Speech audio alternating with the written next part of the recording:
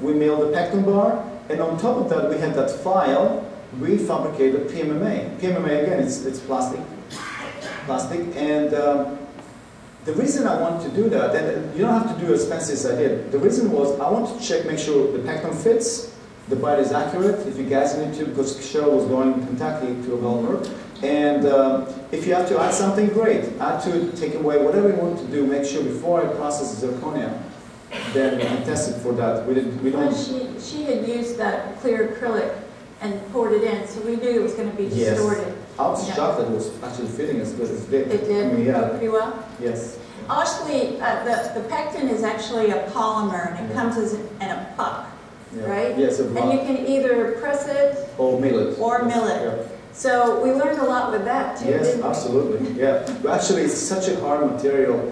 Uh, two machines went down. They destroyed two milling machines. It, this material is hard. Anyway, but that's a different story. Yeah, So we did- remember Cursing Yeah. from a distance. Yes. So um, basically, we took the PMMA. We finished it with composite as well because we wanted to document it, to share with you, and, and share that what's possible. Because that could be also as a final. You don't have to do zirconia. This can be one option. But in this case, we temporarily bonded there just so we can adjust the bite and see how where it is, if everything's good. Let me just clarify that what you got is a Pekkton frame that, that uh, fits onto the implant, and then they have milled out uh, PMMA that he, you actually cemented yeah, onto that. temporarily, yes. Yeah. Yeah. yeah. And actually, uh, Dr. Justice thought it was fine.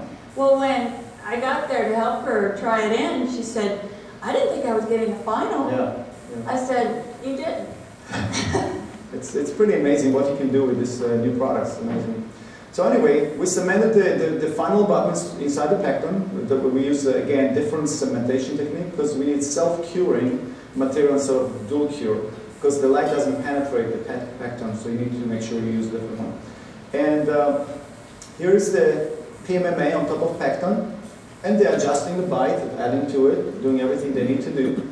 Yeah, and what happened with her there is like she'd say, well, I'll, I got it pretty close. I'll just wait till the final, till the zirconia comes back. I said, no, it has to be right now. Well, it'll change. We'll distort a little bit. No, we're, it will not be touched again. It will be scanned into the computer and come back exactly the way you adjusted it. Yeah. So I had to work with her a little bit on that, but then, The, the, the assumption of the funnels would be easier of uh, fine to adjust. No, it's better to do it here. Yeah. The more time you spend here, the less time you spend on zirconia. yeah. Parallel all the walls.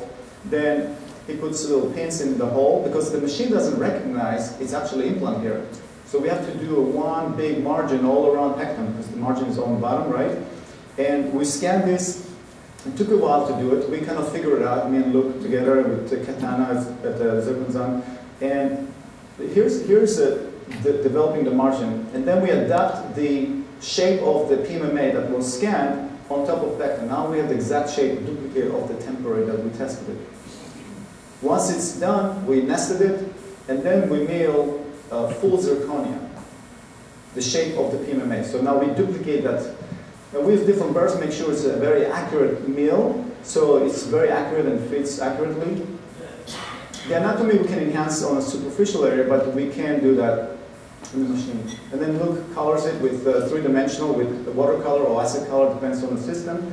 And then that creates a depth for our zirconia, because it's going to be monolithic. We are not putting ceramic on it. We're just putting pink, pink ceramic.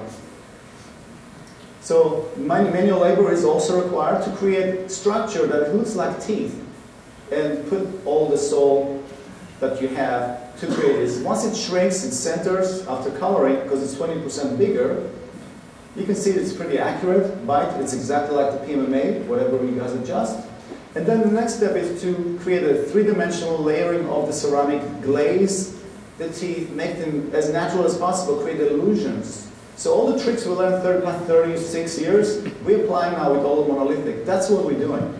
We're inventing, because the, the process requires not just the talent. Talent is one thing, but you have to think differently. It's not the same material. So this is up. After cementation, this, we cemented the Pekkton and combined the full zirconia with pink ceramic all the way here. And then here's the framework and here are the cylinders. And I, I might just add here that this is probably, I have not heard of this prosthesis anywhere else, this combination of zirconia overlaid with the Pekkton frame in the United States anyway. all in the world. Because I talked to the company of um, Cendres+Métaux in Switzerland who actually developed Pekkton and say they've never done this. They've done Pekkton with single crowns on top with composite, Right. but they haven't done this because, and I know why not, because it's not easy. I'm just saying, it's hard. It's hard. But you know, I like the challenge. I like to do something other people don't do. It's just that's why you guys are here. I mean, you guys are unique because other people could come here, but they didn't. But you did. Because right. Is that correct? I mean, Ed is not ordinary man. He's the extraordinary. You know, and that's that's what we need to be to go to the next level. It's not doing the, what we're comfortable with. Doing something, stretching yourself, getting beyond what other people, and you won't have no competition. Because somebody asked me, oh, who's your competition? I said, hmm, me. Yeah, You right? Remember? yeah. Because I'm not competing with myself. I'm not competing with anybody. The bike is, is, is perfect in, in, in place. I mean, you guys delivered it. We Can you tell me the this? upper and the lower. What was the experience? Oh, like How long unbelievable. how long Four minutes on the lower, six minutes on the upper. Four minutes on the lower, six minutes on the upper. Four minutes on the lower, six minutes, no adjustment. It fit Not one. perfectly. The patient aesthetically was, it- everybody was just high-fiving. They were just, So we have to actually establish what level of excellence do we want. And obviously, you do see a difference. This is monolithic as well. And I've seen articles, I've seen people publish these kind of things. I'm not saying it's right or wrong, you know, everybody, but I just want you to know that it's possible. It's possible for you to get to the next level. It's possible to make this product look good. And that's something that if you take any message from this, and I don't know if you remember everything we said, just remember that you deserve, your patients deserve better than, than what's out there. So just give them a chance. Success does leave clues, and we want to share with you